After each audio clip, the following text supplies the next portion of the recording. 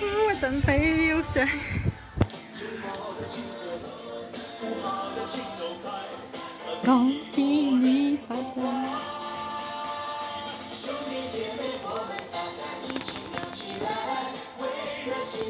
Появился Дед Морозик, да? Here he beard.